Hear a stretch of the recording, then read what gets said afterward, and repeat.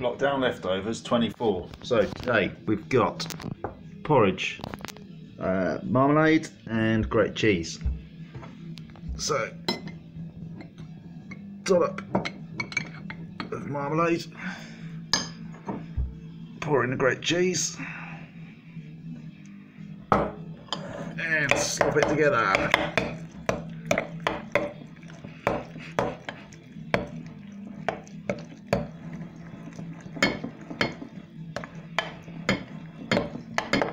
Alright, now the taste.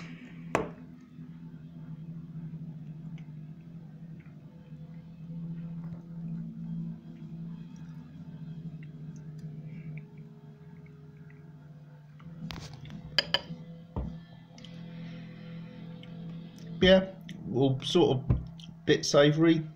Yeah, kind of works.